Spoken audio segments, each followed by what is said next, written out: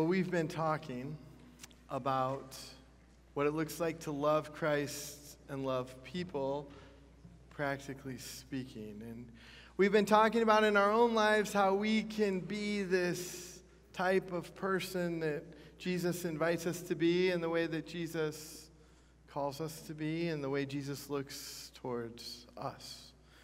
And so I was thinking we needed to find um, an example of what it looks like. So I was looking for people that have a heart to help other people.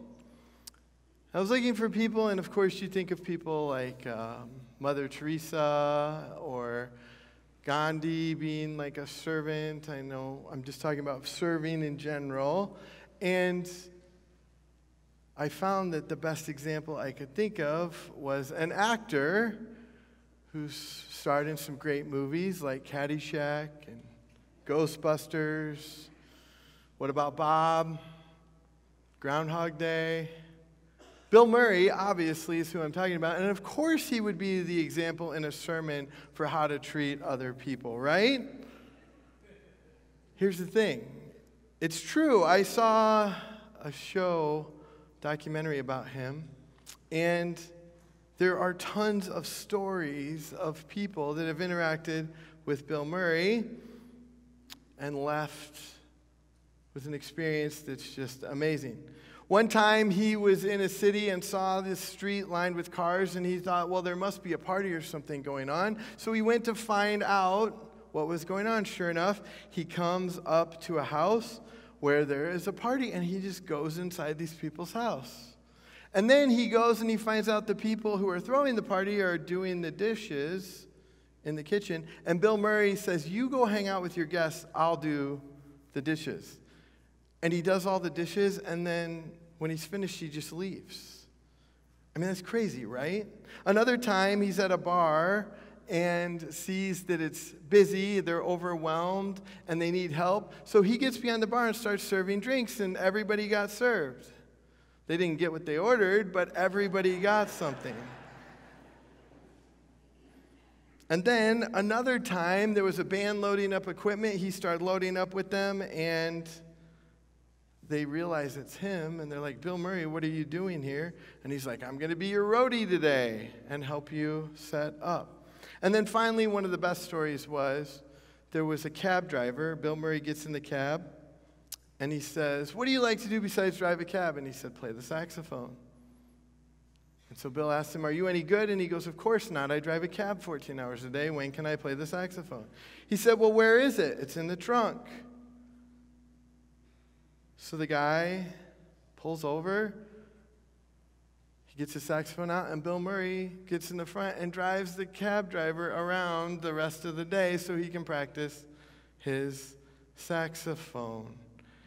And it's like story after story, you see someone who doesn't need to do this, has nothing to gain at this point in their career, and yet he's constantly looking for opportunities to where he can step in and help other people and to enjoy the moments in our lives that we have. I don't know what Bill Murray's faith life is like. I'm sure that would be an interesting discussion, but what we learn here is this attitude of looking to what others' needs are. Because the reality is, we can often be so caught up in being busy and having the things to do that we need to do and being so laser focused on our lives that we can't notice what's going on in anyone else's.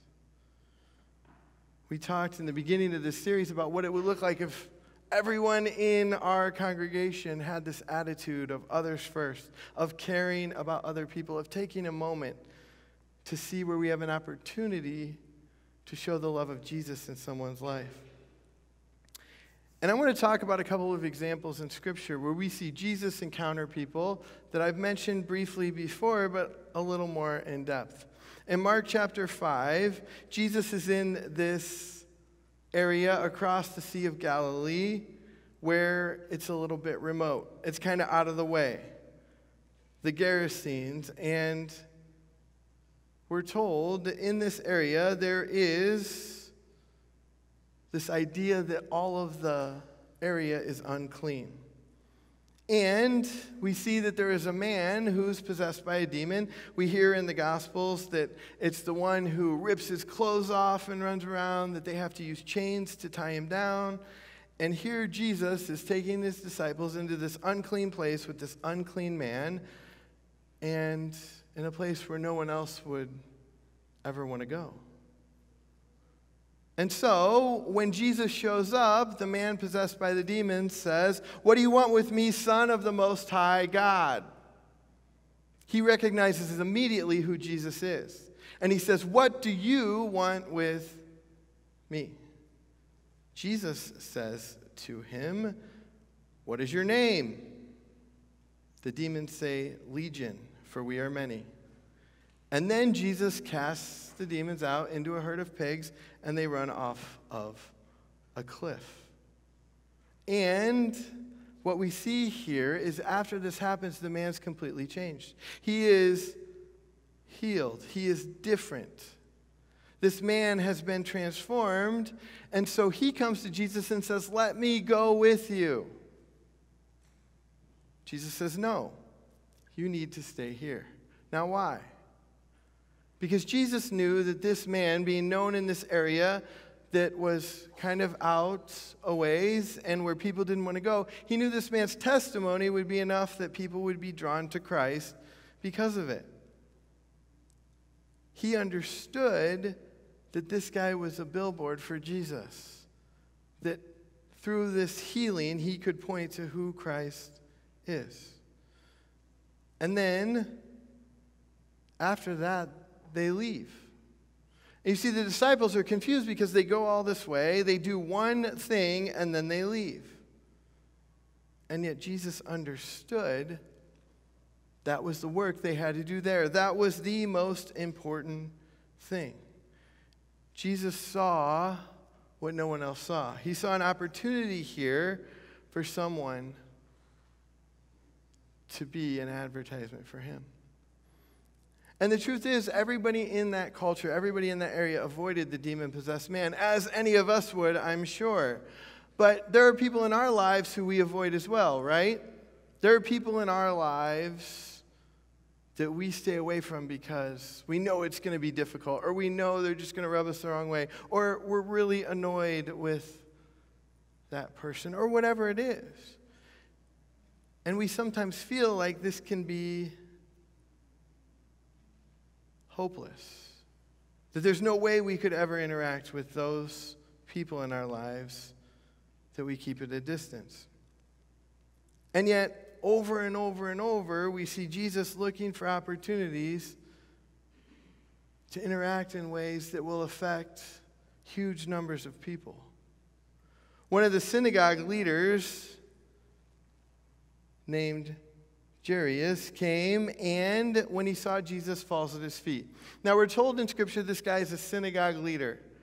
His daughter is sick, and as a leader of the synagogue, he would have been in charge of worship and the readings in the school of the temple, everything in their daily lives. And so he would have had a close relationship with the Pharisees and the teachers of the law, the people that were the religious leaders. And so in that, this guy, the synagogue leader, would not have normally come to Jesus because the Pharisees wouldn't have liked that. People would have been confused by it. But his daughter is sick and dying, and he comes because he sees that Jesus has this message of hope.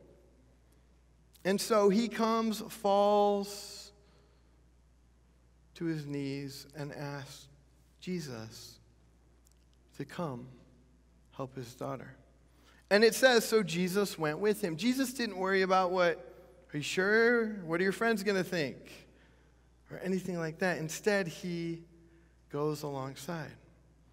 And then he doesn't just say, hey, you need to do this or do that, or do you know this or that? What he says is, he makes himself available and Jesus goes.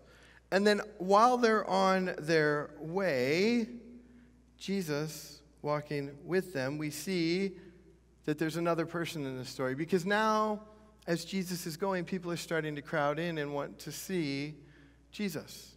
And we're told that people are crowding all around Jesus. And this woman who's been bleeding for 12 years comes and just touches Jesus' cloak, and she's healed. Jesus says, Who was that that touched me? And the disciples are like, Why are you asking us? There's people everywhere. But then this woman comes up and acknowledges what she's done. And if you remember, Jesus says, Go, your faith has made you well. She was seeking to be in contact with Jesus because she knew he could bring healing.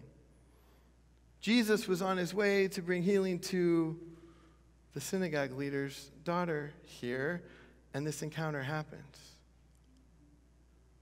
And as I look at these stories in Mark and I think about our lives, you think about those people in your lives that you interact with, and do we take the time always to listen to what they need? Do we point them to the fact that Jesus is with us the same way he was with them?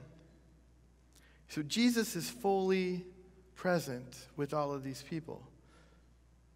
And Jesus says in the last chapter of Matthew, Go and make disciples because I will be with you until the end of the age. We're reminded over and over that God gives us opportunities to share who Jesus is by how we treat others, by how we live. But it's never because of us that the credit goes to us. The credit always goes to Jesus Christ and the healing that he brings, whether it's physical, emotional, spiritual. It always goes to Jesus.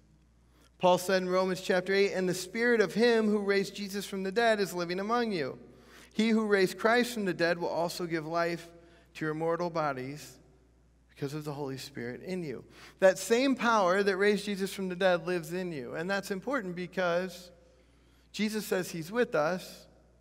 He said, One who is greater is coming. That's the Holy Spirit. And he says that through the gift of our baptism, we have the Holy Spirit in us.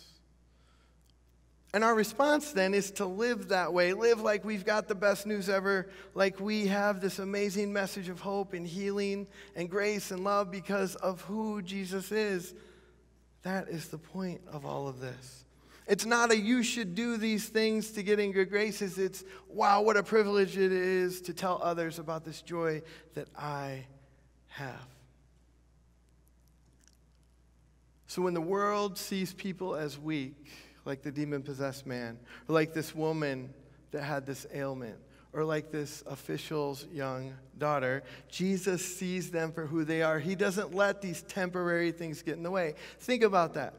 The world describes them as demon possessed, as sick and on their deathbed. But Jesus says that's temporary. They have eternal life by faith. So the things we often focus on take us off track and keep us with our eyes fixed everywhere but on Jesus Christ. Jesus is showing us through action to look through those surface level things and to see that this is not the end, that our story is not yet fully written, that we have so much more to look forward to. One day we will be free from suffering and pain and sin and death and struggles. And in the meantime, Jesus says, bring as much of that attitude of heaven and eternal life to this earth when you can. As Christians, that's what we get to do when the Holy Spirit works through us. So then, Jesus, after this woman is healed, comes to the house of Jairus, who daughter. Now we see when Jesus was speaking, people came from the house of Jairus, the synagogue leader, and said, Your daughter is dead. Why bother the teacher anymore? Jesus overheard this and he says, Do not be afraid, just believe. That same message Jesus gives us. No matter what we face in life, Jesus says, Look to me because I will always be there and always bring you through. So then everybody's crying and mourning and wailing, and Jesus says the child isn't dead, the child's merely asleep. They look at him like he's crazy, like this guy is just this eternal optimist, like you don't understand, she is dead. Jesus put all the people out, takes the father and mother and disciples with them, and went into where the child is. He took her by the hand and said, Little girl, I say to you, get up. And immediately she began to walk around. What an amazing thing it is when Jesus enters into our life and brings this hope and this healing. What we can take away from this is we have everything we need to face the struggles of this world. We have this amazing gift of Jesus Christ and the Holy Spirit working through us to point others to Him. So I would encourage you to be reminded of these things when you face trials and struggles. When there's people in your life that are hard to deal with, take a moment and just see how you can make a difference by sharing Jesus through your actions. And most of all, may we find comfort and peace in knowing that Jesus is always walking alongside of us and that the Holy Spirit is continuing to renew us each and every day in our faith through him. In Jesus' name, amen.